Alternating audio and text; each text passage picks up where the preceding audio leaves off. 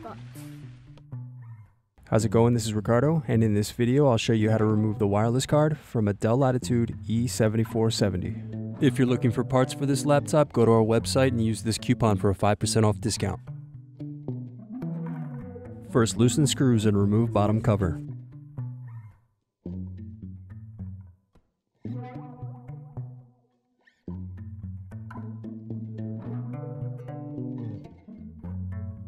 Next, unplug battery.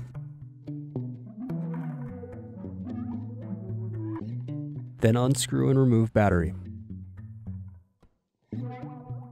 Then unscrew and unplug wireless antennas. Next, remove wireless card. Need more? Check out these other tutorials.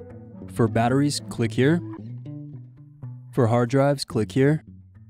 For wireless cards, click here. Thanks for watching. If you enjoyed this tutorial, give this video a like and subscribe to our YouTube channel.